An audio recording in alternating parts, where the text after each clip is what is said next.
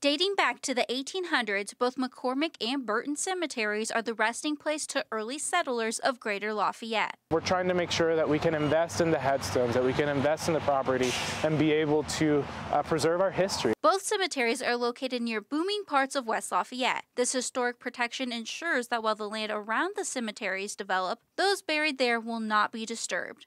Sean Lutz of Preserve Historic Lafayette and Wabash Township trustee Angel Valentin explained what historic preservation means. What it does impact is if someone comes in and says, well, we want to put in a development, or we want to remove old headstones, or we want to do something that could obscure or hurt the historical significance and character of this early settler pioneer cemetery. It's not that there are particular risk of being and, and being developed or anything of the sort. We want to make sure that we're protecting them for the long run. It can be easy to forget that each headstone was a person and a story. Sean tells us one of those stories. Over here, Cornelius Morris, and he is a Revolutionary War veteran. He came to Tippecanoe County from Maryland, fought in the American Revolutionary War, obviously before that, and uh, called this place home and ended up passing away here, and this is his final resting place. McCormick Cemetery can be a little bit tricky to get to, but you can visit Burton Cemetery sunrise to sunset. Hannah Grace, Star City News, West Lafayette.